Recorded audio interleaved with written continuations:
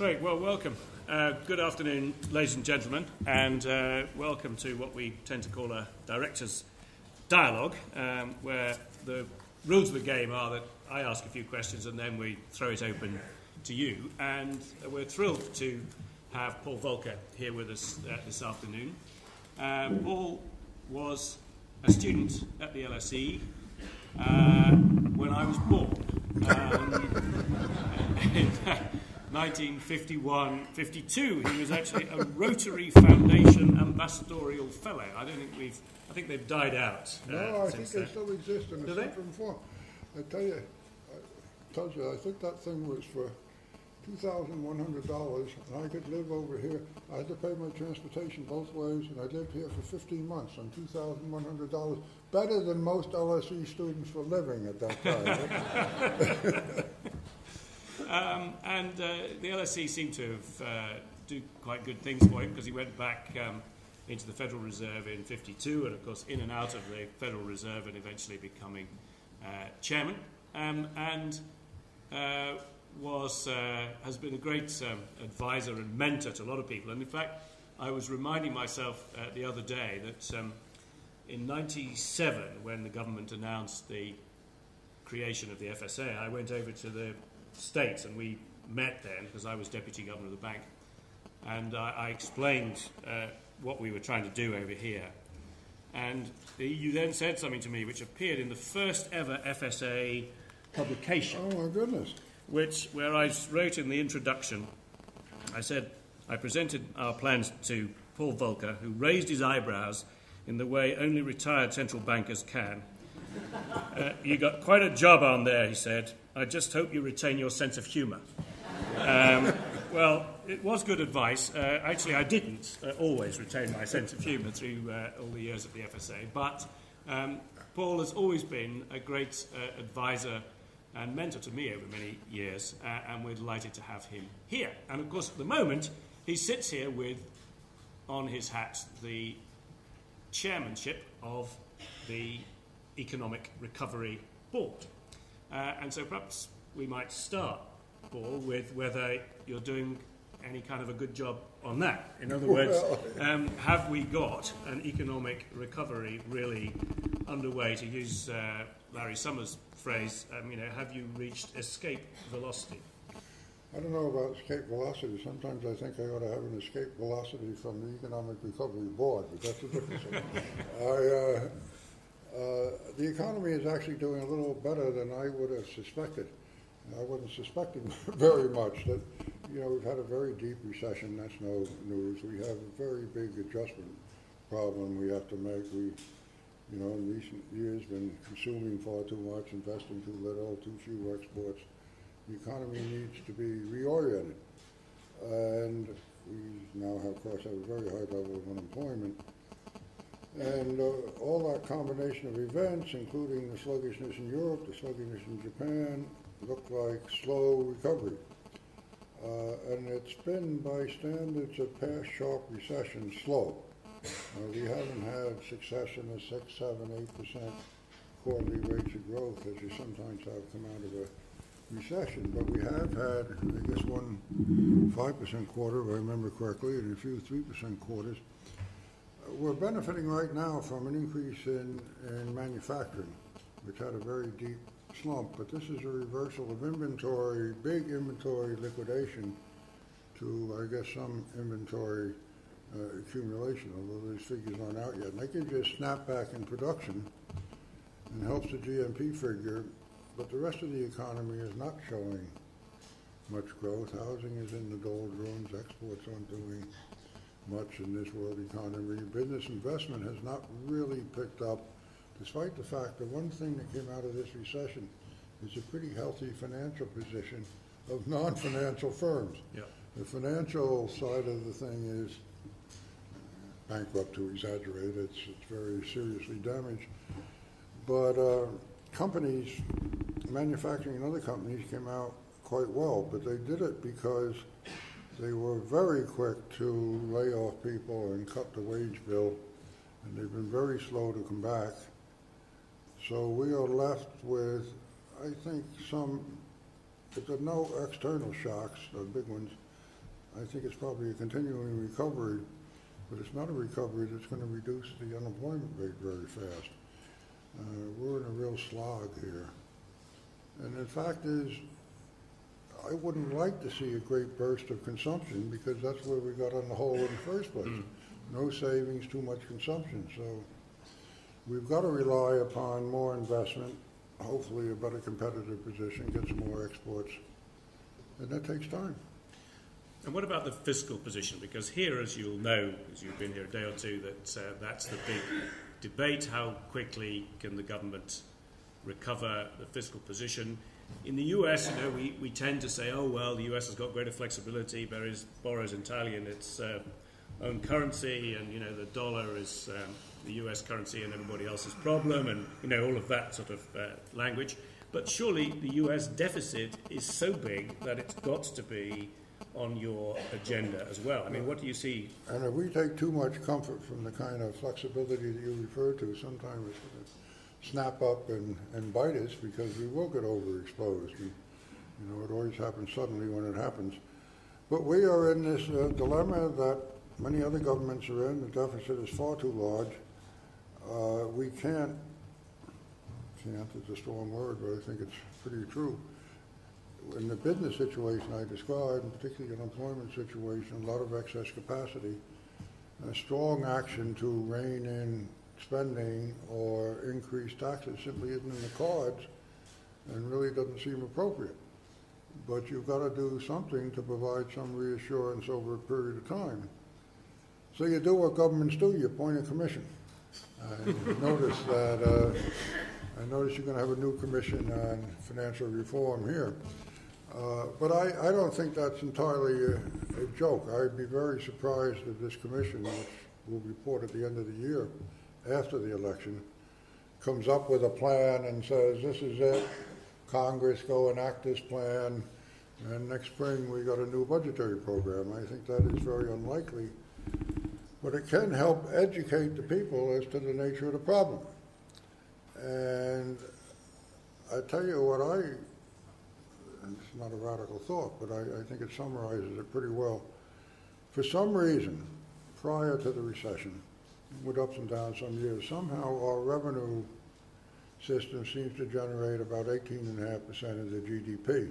And it's true, tax, some taxes go up, others go down, but somehow it always comes out 18% of the GDP. And it's done that for a decade or so and spending was hanging around 20% or so. So you had a, you know, a fairly modest, by today's standards, deficit. Now the deficit's gotten to be 10% of the GDP. You've got a big stimulus program, and you've had some tax reduction. So how do we get out of this? Well, it looks like if we don't do anything about taxes, uh, really striking, it's going to be reasonable presumption, 18 percent of the GDP, whereas spending is clearly now on a higher track, and it's very hard to imagine spending, which is now, I guess, around 25 percent, coming back to 20 percent. You've got all the pressure of Social Security, health care, a lot of defense spending, the momentum is very strong. Now you can argue, are we doomed to 25%? I think that probably is not true. But are we doomed to more than 20%? I think probably is true.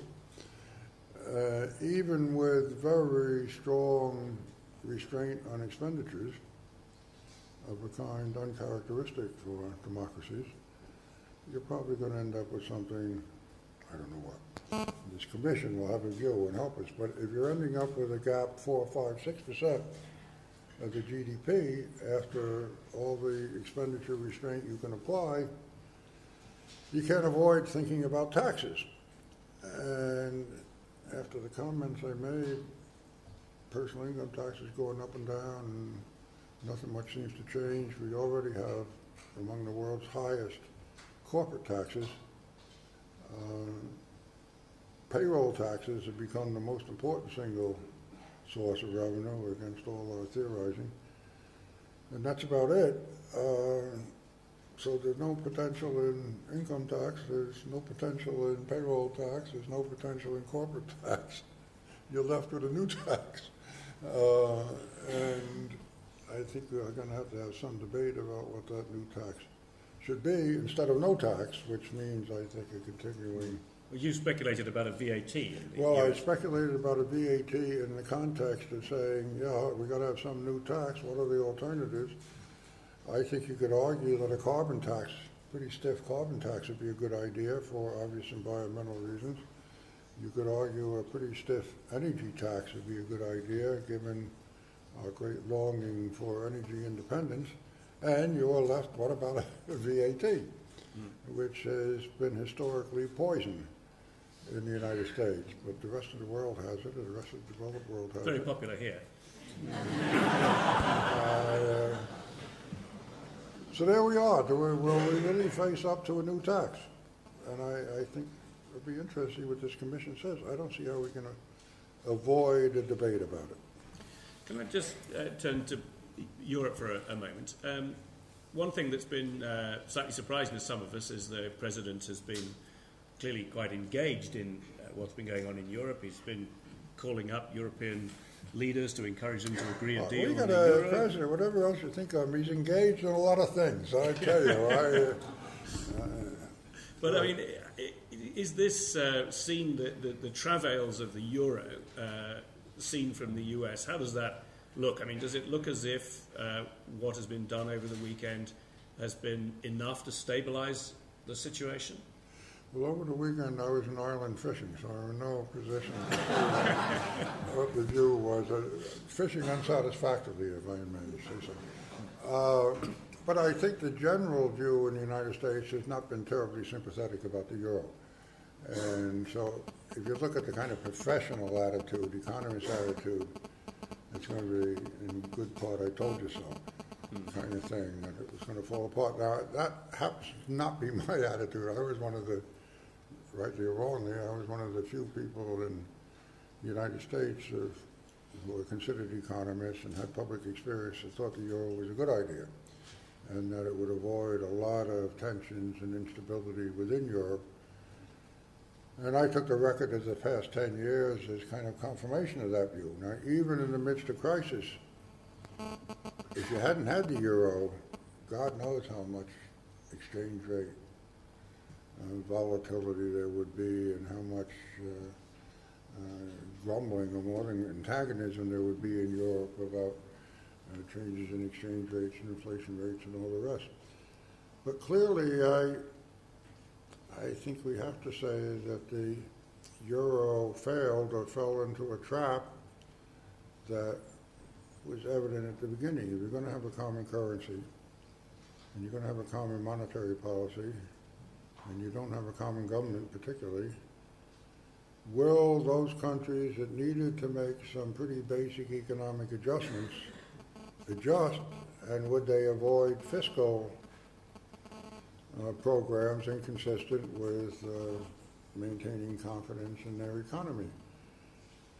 And to some degree, as you know, those problems were anticipated with the Stability Pact, and the Germans took the very awkward position and not more than three percent until they ran more than three percent, and that that restraint kind of went by the boards in the midst of crisis, and I think this is the big problem of the euro.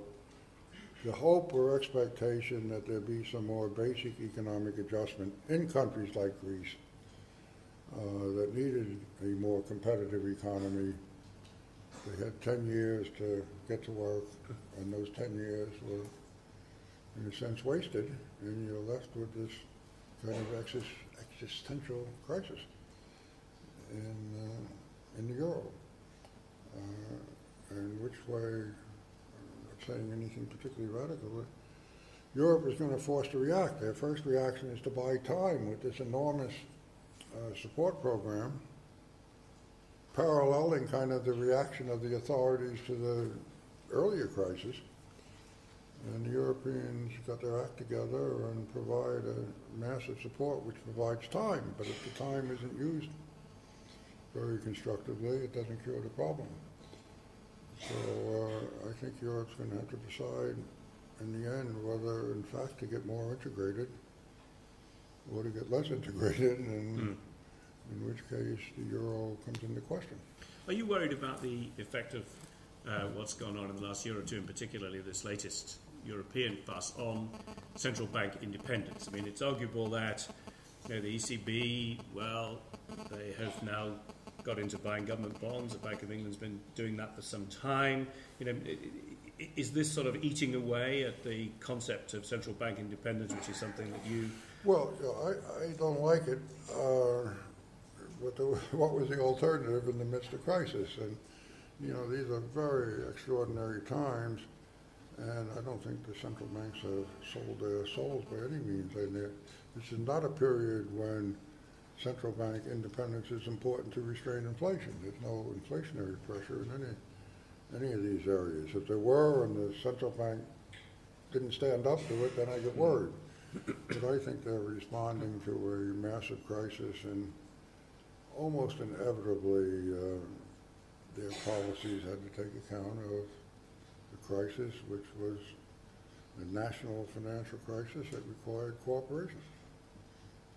Can we shift track a little bit to the um, regulatory reform, which uh, you've been taking quite an interest in? I mean, first of all, in terms of the legislative program in the US, you know, there was a point where the Dodd bill seemed like it wasn't going to get anywhere, and then suddenly it's now being active discussion. What's your expectation well, about that? My expectation is that uh, it's got a good chance of passage. There seems to be a certain momentum.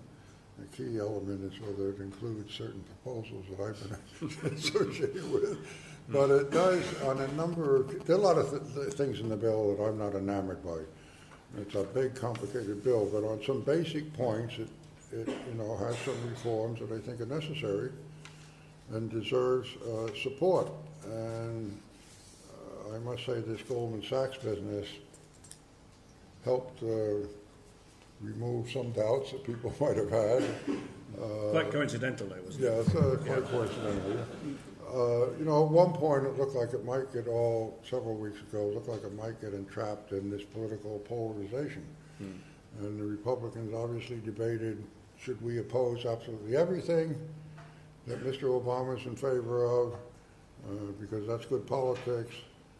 But as the kind of financial repercussions uh, seem to be continuing, I think for that or other reasons, as we thought, and there will not be a blanket polarization uh, across the board on this issue, which accounts, I think, for the feeling that prospects are improving. And I think they are improving. And there isn't, there's enough similarity between the Senate bill and the House bill that was passed last year that I think it's fair to assume there's not going to be a big contest in and so-called conference bringing the bills together. So I think the prospects look a lot better now than they did. So you expect something before the summer? Yeah. Well, before the summer, you say? Summer begins June 15th? I don't know. About that time. Not before, before the All-Star break. Certainly before the Congress goes home on recess in August. Right. And you get fully entrapped in the electoral cycle. So I, I think you get something in a couple of months. You said there were bits of it you didn't like. What well, would you rather not have? I mean, this, I'm not going to make a big issue of it, but you were, we were discussing just coming up here, the role of the Bank of England and potential role and kind of oversight over the system. And I thought that was the proper role for the Federal Reserve, frankly, in the United States, and that's not the way, they have the, they have the system, they have the purpose, the, uh, a policy that you need some oversight, but it's lodged in the Treasury primarily, with a, a council of regulators that are going to vote on measures and so forth. So the function is there. I would have arranged it somewhat uh, differently, obviously. Uh, there are other, not much in the bill done about credit rating agencies or other uh, lapses. I, the whole organization of the regulatory apparatus, I would do somewhat differently, but uh, you know that's I, I'm not going to quibble about every issue in the bill. There was a point two months ago where it looked like the Federal Reserve would be removed from regulatory authority, which I thought was a big mistake, and I'm alone in that, and became fairly vocal on it. That, surprising now, is almost reversing. Uh, the Federal Reserve has a big role in regulating big institutions. And I just got word today that they're going to maintain a role in regulating small institutions. They had a vote yesterday in the Senate, and the Federal Reserve won. So uh, they've gone from losing everything to gaining. There are changes in the Federal Reserve Act that are questionable. Uh, how the presidents of the Federal Reserve Act are, are elected or appointed. This little quirk where they're going to give the president the appointment of the Federal Reserve Bank of New York, which is doesn't fit quite neatly in the Federal Reserve context, but uh, I'm sure that look, the bill is only 1,300 pages long, and I've examined maybe 20. So, uh, Well, let's talk about one you presumably have examined, and that's section 619.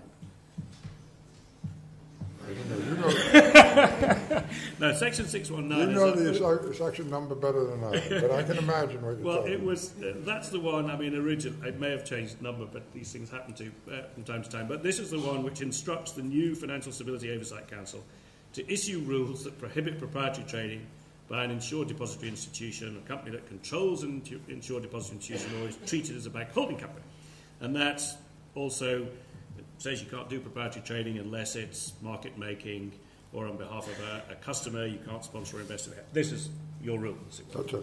Um, is that? Do you think that's going to go through as you hatched it? Well, it's being debated today, so I will hold my breath a little bit on it, but uh, I think the prospects are pretty good. There are little modifications that, you know, don't affect uh, uh, the essence of the thing.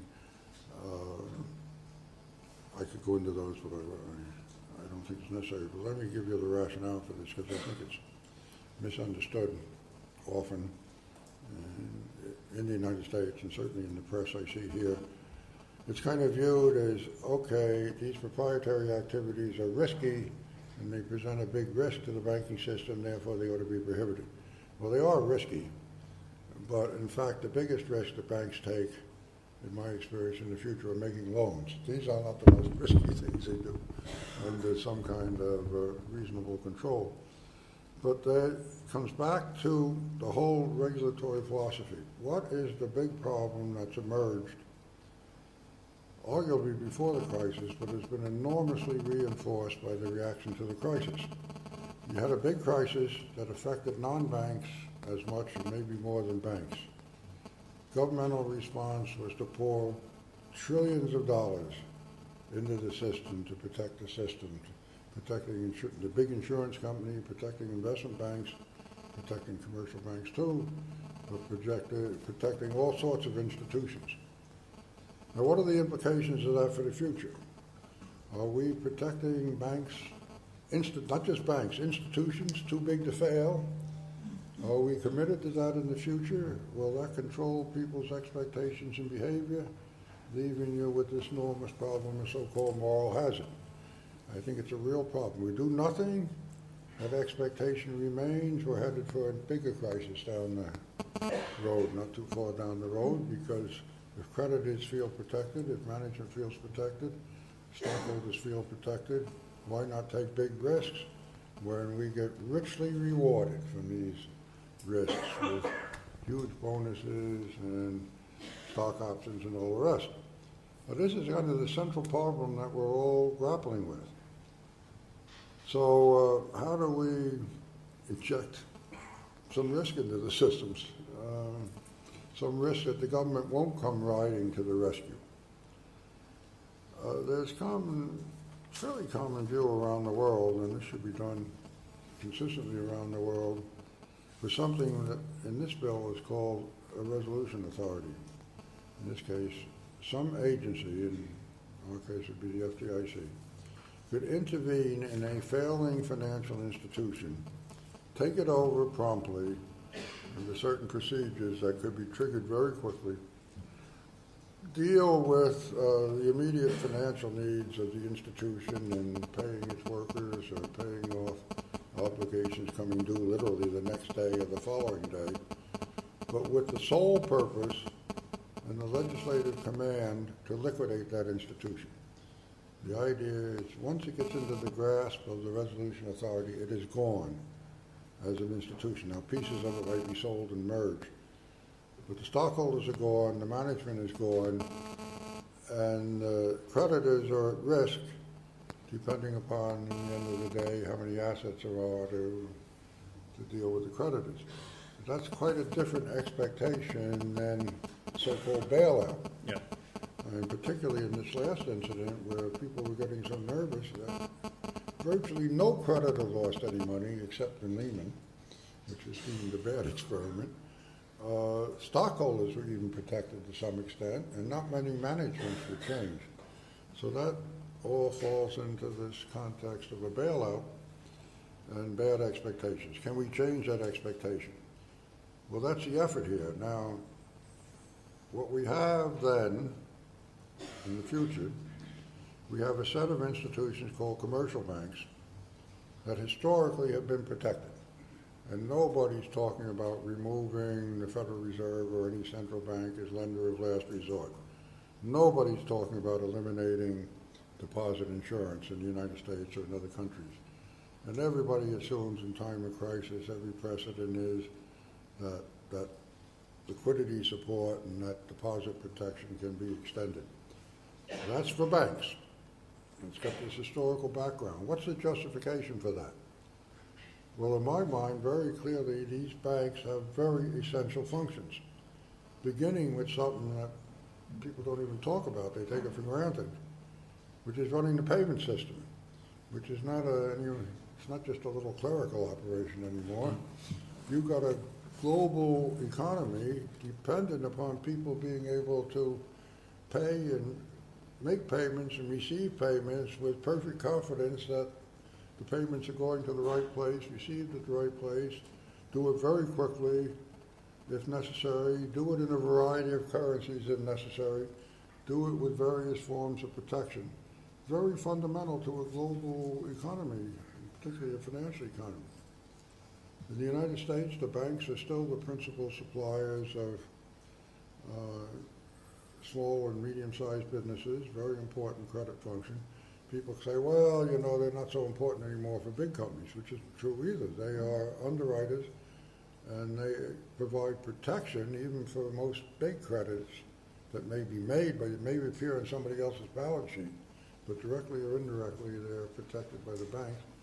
And of course, as this period showed, they are the place that people go put their money as kind of last resort not everybody's buying gold or, or putting it in their mattress. They, they want someplace to put their money. They go to a bank where it's readily available instantaneously at par.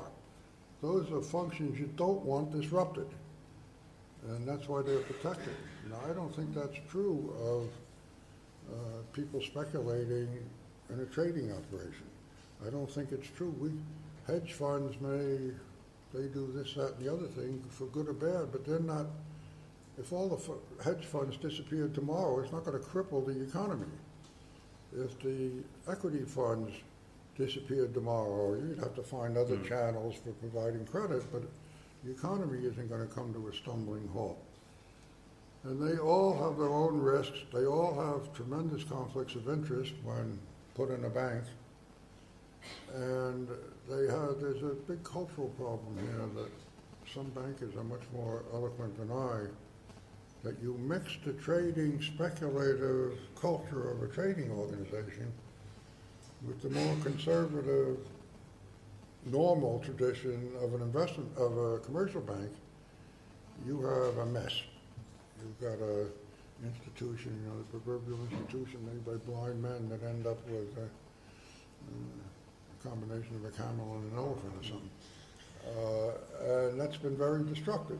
But there are some people who say that that's a particular US phenomenon. I mean, if you look at the European view, I mean, Hans Werner Sinn, for example, as he said, um, this would mean a destruction of the European banking world. Well, of course, that's baloney, if I may say so. Who said that? Uh, Sinn. He was a German economist, Hans Werner Sinn. German or what? Economist. There is such a thing as a German economist. It's not an oxymoron. Oh, a German economist. okay, and a German economist says it's the end of the world. Yeah, he says it's the end of the European banking world, and indeed even argued that it's more or less deliberate. This is the US actually administering this rule in order to break up European banks who are the competitors of the, your institutions. Is that what you're engaged in? Yeah, well, the whole, this is all a hidden plot, which I've only revealed to the small, intimate group.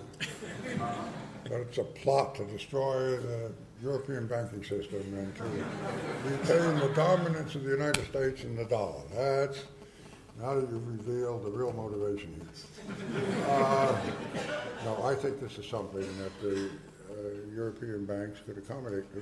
The fact is, you look at the United States, now this is, quantitatively, this may be different in some European banks, but qualitatively, I don't think it's different.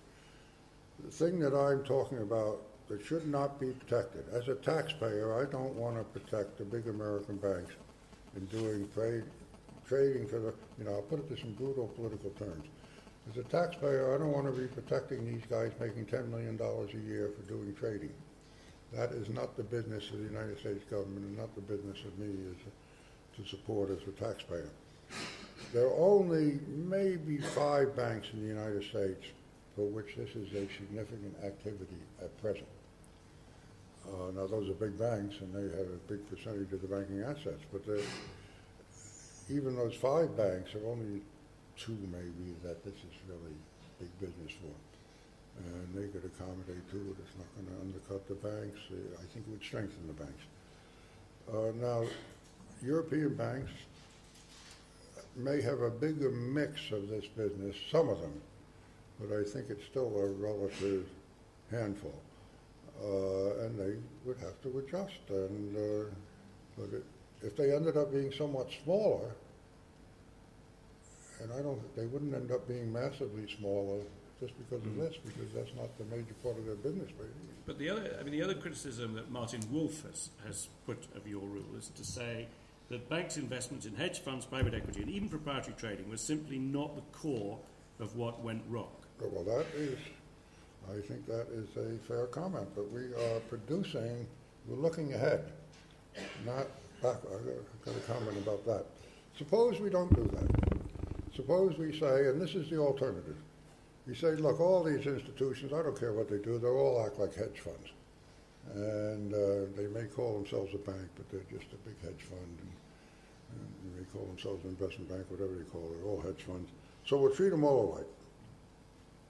Well, what's the what's the regulatory reaction to that? Well, we'll treat them all alike. We're going to have to regulate them all. We'll have to regulate them all pretty tough the way we regulate banks.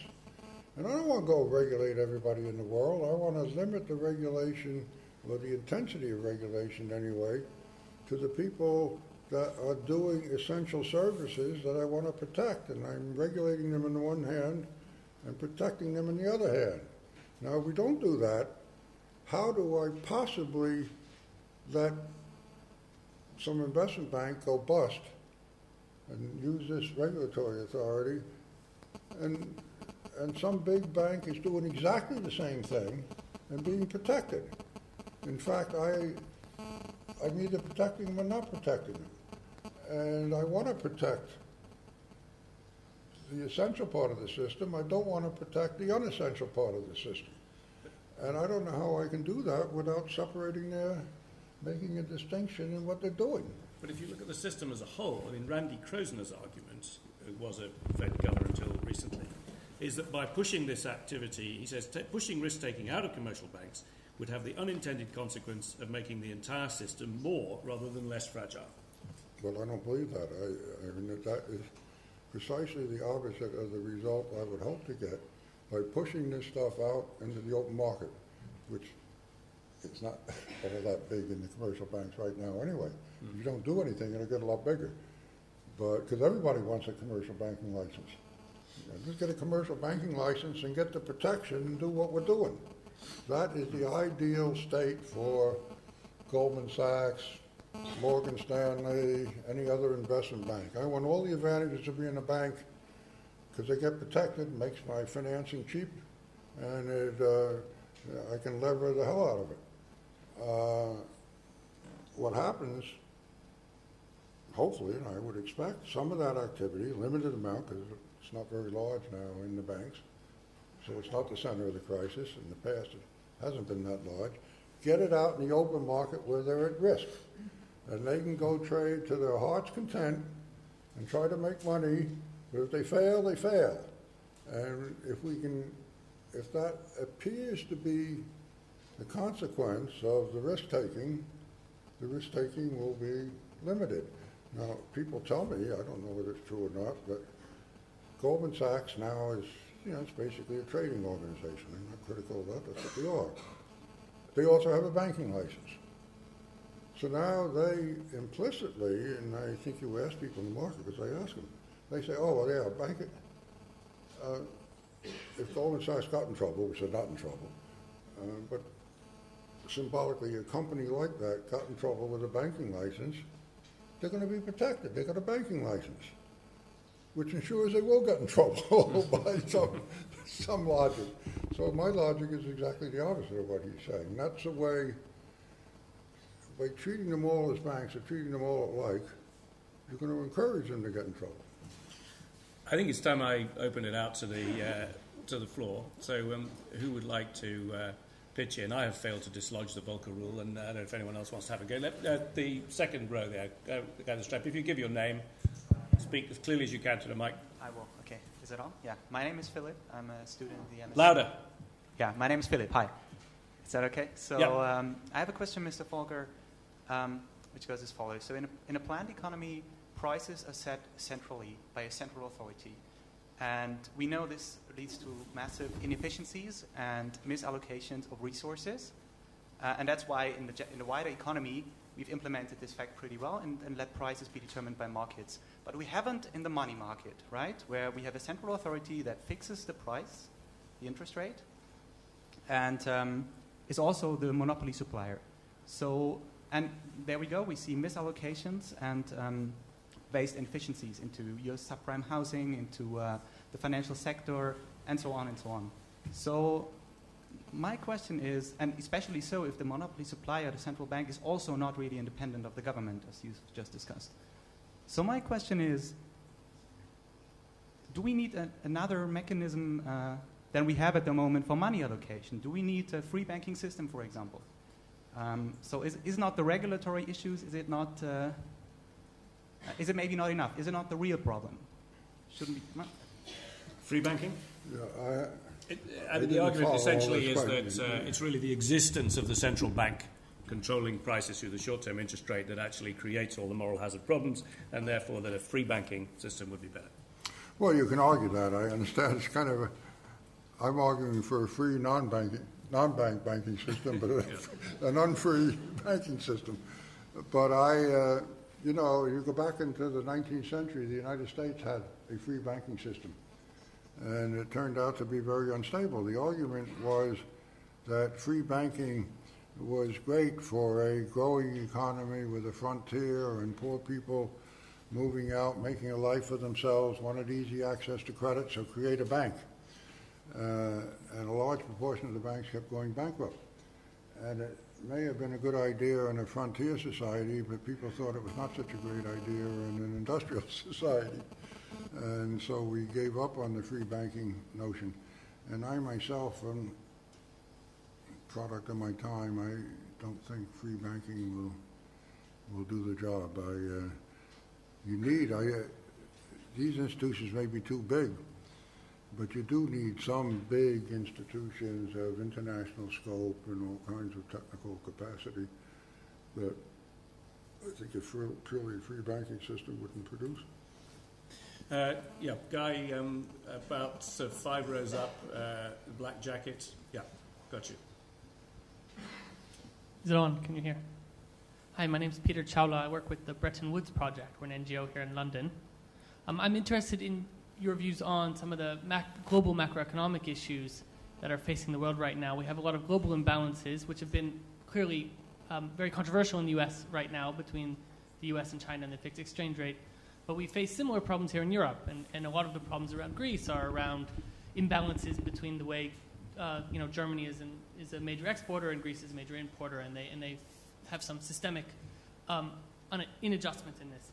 And I wondered, you know, at the time when the IMF was created in 1944, there were proposals around requiring, you know, both creditors and debtor countries to, to adjust their economies. And those proposals didn't win out uh, on the day because of, largely because of um, you know the opinion of the United States. Is it time to readdress some of that, to look at some of the problems around China and, and the exchange rate, and as well as around Germany and Greece and the problems we face inside a regional fixed exchange rate system? Thanks. You know, I'm not sure I understood all that. My hearing is not what it once was, but I think I get the gist of it. That uh, uh, we've got big imbalances, they seem to run on for too long, the adjustments aren't made. What's the matter with the international monetary system? Uh, I'm afraid that question is getting raised with more intensity now, given what has happened. U.S.-China is one example, but what's happened within Europe is another example, and you can find lots of others. Uh, I'm going to make a self-serving statement.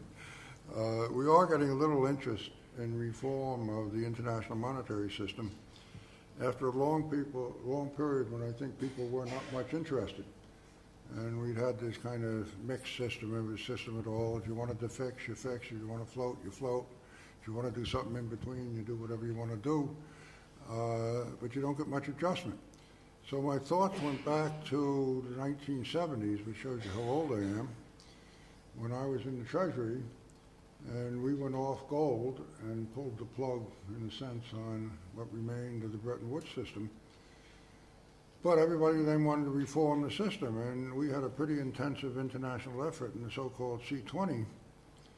And what occurred to me recently was to look at the U.S. presentation that was made about reform of the international monetary system. And the centerpiece of our proposal at that point, the setting was somewhat different. You still had convertibility, or the hope of restoring convertibility of the dollar and currencies, but the, the centerpiece of the uh, effort was to recognize the problem that you mentioned, that you're supposed to have symmetrical adjustment surplus countries, deficit countries, but the adjustment, if it comes at all, is only in the deficit countries. And if you had the dollar, you didn't have to adjust very quickly and all that story that you know about. This proposal said, let's use reserve indicators as a signal and as a discipline for adjustment in both sides. And if a country is accumulating a really disproportionate amount of reserves, let's say its name is China, it would have to take action to adjust. And nobody ever could have conceived in the 1970s that that excess amount of reserves would be a few trillion dollars. And you were talking about hundreds of millions at the most. But the world has changed. But you would have had some limit, and it said, you know, Chinese reserves passing 900 billion were disproportionate. They have to do something.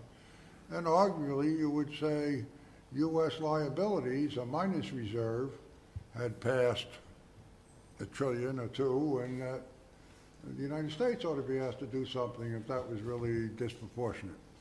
Well, that proposal, we never reached agreement uh, for a variety of reasons in that exercise, but it, it's kind of interesting that all this period when one of the complaints was, are reserves really a good indicator and how do you measure them and all the rest?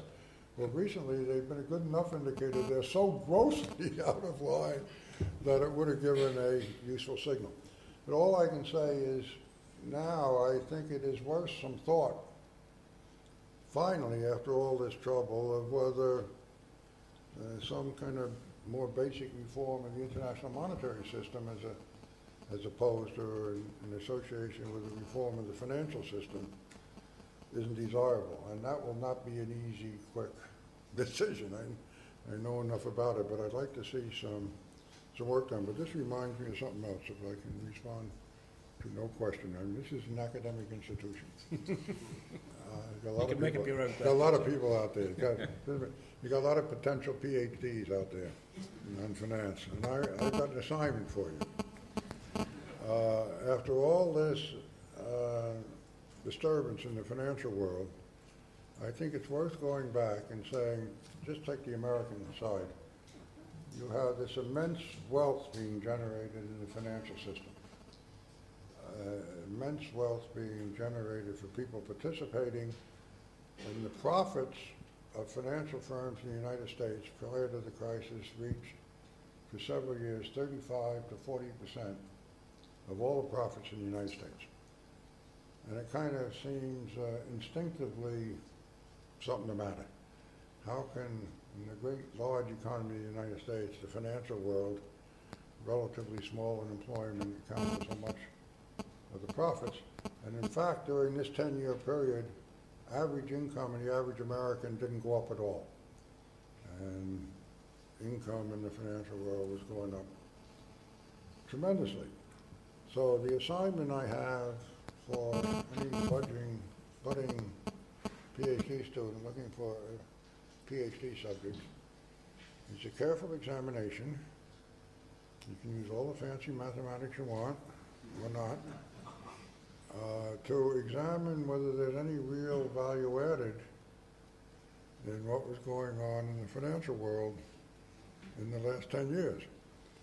I mean, I listened to some of these people and they said, my God, if we don't have credit default swaps, uh, the economy needs it. I mean, how can the economy function without all these derivatives? And I say, you know, I lived in a day before the credit default swap was invented, and somehow the economy survived. It survived without CDOs. Can you imagine that? without You had CDO squared, sure. I mean, and, uh, and the. CDO squares and the 16 tranches in the CDO squared. You know, is all that stuff really adding to the well-being of the economy? I think it's a serious question that uh, economists are just beginning to look at. And uh, if you look at the gross figures, you look at the growth of the economy, if you look at the growth of productivity, I don't detect any difference in the years of financial engineering and in the years before financial engineering. If anything, it's slower now, but there may be other, other factors at work. But now we got a Yeah, question. there was a woman in the third, third row you had, yeah. No, sorry, it wasn't you, it was you. Okay, right. Hi, I'm Natasha Brereton from Dow Jones. Um, Mr. Volcker, you said earlier that you thought the Eurozone would have to become either more or less integrated, and I was just wondering what direction you would recommend it to go in. Um, also, on the UK, you've probably heard that the, um, the gov- new government is setting up a committee to look into the possibility of splitting up banks, and um, I was just wondering if you'd have any particular advice for them. Uh, the first question was you said that Europe needed to go in the direction of more integration or less. Which, which would you actually prefer? And the second, did you, had you have any advice to the government on the Commission in looking into splitting up banks here? Yeah, obviously, on the question about the euro, it's, it's a European question. I'm not entitled, sitting in New York or sitting in the United States, to tell the Europeans how they want to run the continent of Europe. I, I, I think this is a big question. I, I guess I said initially, I thought the euro was a good idea. I thought it was a good idea economically, but of course, the force of the euro in the beginning was a political force that Mr. Kohl and Mr. whoever Mitterrand really wanted to seal Germany and France and go back to World War II and World War One and all the rest. But uh, Europe is kind of caught, it seems to me, between the desire of every country to remain independent and sovereign. Their sovereignty is already reduced by some areas of the uh, European Union. Uh, in this part of the European Union, that is the euro area, uh, the restrictions on sovereignty are even greater. But to put it simply, can you have a common monetary policy, a common currency without a common government? Uh, to put it most broadly. And they like the common currency and they like the common monetary policy, but they don't like the common government. Uh, But I, I mean, I, I, I really don't think I, On the British. I know. I know kind of emotionally what I'd like to see, but it's none of my business in some sense. I, uh, uh, It's probably good for the dollar if you broke up, but I'm not gonna advocate that. On, on this commission on, you got a new government here, and, uh, you know, I, I would think, uh, it would only take them maybe a week or two to decide that the kind of reform we're looking at in the United States was just what the UK wanted, but that hope is likely to be dashed. And, uh, They haven't asked you to chair the commission no, yet. they haven't asked me to chair the commission. So I think they take a little time to have a commission, look at it. But I, I do think, what I, I really hope is, uh, for a variety of reasons, the United States has not been in the forefront of the reform internationally. Uh, we got a new government. What, part of the, problem is these, terrible political problems in the United States. I, I, I pardon my emotion on this particular subject, but I used to be Undersecretary of the Treasury. And in those days, we only had two undersecretaries, and I, I was in charge of all the financial side, domestic and international. Now we got, I don't know, we got spots for six or seven undersecretaries. But the two undersecretaries that count for international and domestic finance, which under one hat when I had it, both positions have been vacant for 15 months after the election, which is a reflection of our inability of our government to function. And you might say, who cares whether an undersecretary here or there is not appointed? And it's been true of other departments, but this is a particularly sensitive time in the, in the middle of a financial crisis. You've got lots of problems at home and developing and negotiating the system. You've got problems in maintaining contact with your counterparts abroad. That is the undersecretary's job. The secretary of the treasury can't run over the ball every two weeks. And, and, and so they send a junior person who was, because that's all they had, who might have been very able, but he couldn't speak for the United States and, and attract the confidence abroad that a proper person should. Well, now finally, after more than 15 months, uh, after inauguration day, uh, we suddenly now have two undersecretaries in office. Uh, been so I, that's one reason I think these relationships will improve. But if we have some sensible legislation and the combination of personnel, I think we will play a much more constructive role in getting some international consistency. At least that's my hope. Uh, what- man in the blue shirt on the aisle there.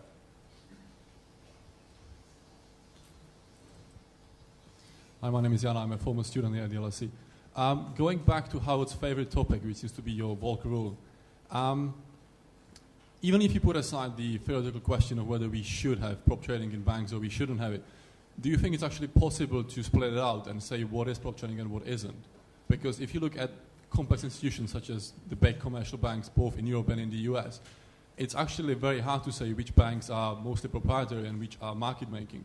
So, how would you go about actually saying this trade is a proprietary trade and um, as such, it should not sit on the bank's balance sheet, and which trade is because we are executing for a client. Because it might be very easy to say in something simple like stock trading, it's much more difficult in a complex derivatives book. Thanks very much. Yep. How do you define prop trading? How do you determine what's held in relation to client activity and what is held from a proprietary point of view, particularly in uh, derivatives books? Well, I, I have to tell you that uh, that is a question I get all the time.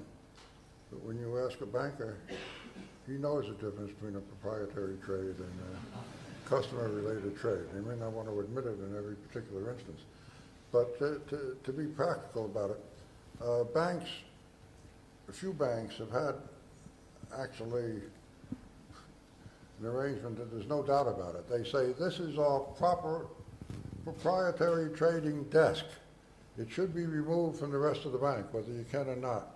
They are on 23rd Street with a lock on the door. They are proprietary traders interested in speculating for the benefit of the bank making profit. Those things existed. Uh, I think they don't exist anymore because they could see the kind of handwriting coming on the wall.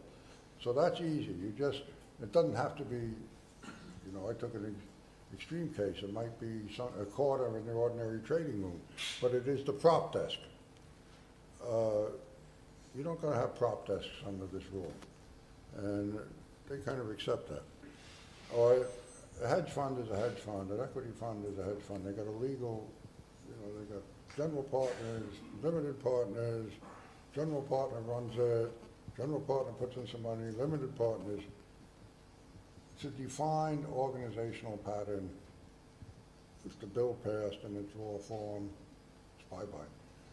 And there aren't very many of them. So this is not, there are some, and two or three of them are pretty big. Uh, but it's not, there are 8,000 banks in the United States, and maybe 10 have a hedge fund. Uh, Now, the, the problem comes on, you say, okay, you can respond to customers trading.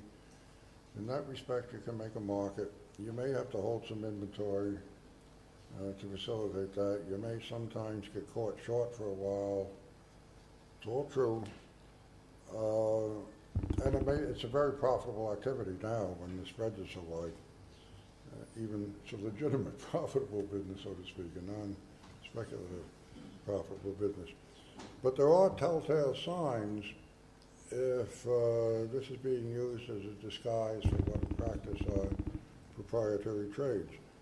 Uh, Is it a very big activity relative to the size of the bank and the size of their customer base? Particularly, does it show a lot of volatility day by day in results? uh, which suggests there's some, quite a lot of position take, unhedged position taking. If you're doing proprietary trading, you probably don't hedge your position, uh, because, you know, you know, you want to make money. Uh, If you're suspicious enough, you look at it. And I think virtually everybody I talk to with experience in this area says if you look closely, if you're sitting behind a trader and following his work, you know when he's taking a position in the market, and you know when he's simply responding to a customer uh, inquiry. Now, is that perfect? No, but it's good enough.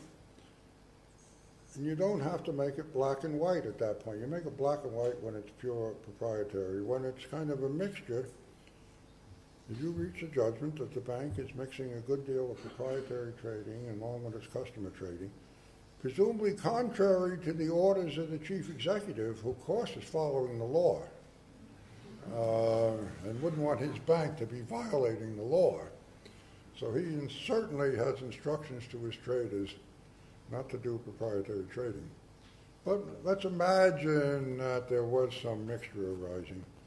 I think it's reasonable to say that the regulator, and certainly this is possible under the law, the regulator says, look, in your particular case, you're going to get a special reserve requirement, a special capital requirement, because we think that you are engaging in trading activity in a volume and a character that uh, raises question about its proprietary character. And frankly, most banks I talk to say, I understand that, and that is the way to handle the problem. Now, we may have a big difference of opinion when push comes to shove about what that capital requirement should be. But this, in fact, is not inconsistent with the conversations going on in Basel that talk in general about a higher capital requirement for trading, whatever the trading is. Now, what I'm saying is something a little different. You may have a little bit higher capital requirement for trading in general, but I'm talking about what could become a punitive capital requirement if it, if it appears that they're really doing proprietary trading in, uh, in the guise of customer business. I'm going to take uh, one last uh, question. Yeah, your hand. There's a track. Yeah, with a sort of orange tie. Not quite sure what it is. Looks a bit of a sort of Lib Dem type tie. Thank you very much. I was working for that. Victor Haghani. Um, question inflation. Um, I'd really like to know what you think um, you know, we have to look forward to potentially in uh, long term inflation. When you were talking about the different taxes, um, you know, one of the things that, that, that you didn't mention is, is that inflation also really could potentially help in terms of uh, balancing um, the, um, the fiscal positions I, I, it's it's you know sort of a you know a stealth tax um, which which perhaps makes it uh, a lot more palatable. So you know we have a lot to uh, we have a lot to be um, thankful um, to you for in terms of beating the back of inflation. And I just felt that uh, before uh, today was out that to not ask you about inflation would be uh, you know a, a tremendous miss on the part of the audience. Thanks. Well, I got asked a question uh, like this last night in a somewhat smaller group of, at that point, we were raising money to save salmon, but uh, we got engaged in a conversation about, uh, about the financial system. And the last question I got was, what about inflation in the United States? Is that going to come back? And the answer that immediately sprung to my mind, which is maybe all I know about the situation, is not in my lifetime. Well, this could be, since you only got married a few months ago, this could be uh, quite a Long period. quite a long period ahead. Yeah. Uh, look, we, we are going to have to uh, wind up because uh, there's another uh, lecture in here at 6.30. So I'm going to ask you to do uh, what financial institutions do when they meet a crisis, which is rush to the exit. Um, and so this is my advice to you. But before you do, I really want, on your behalf, to thank Paul for coming.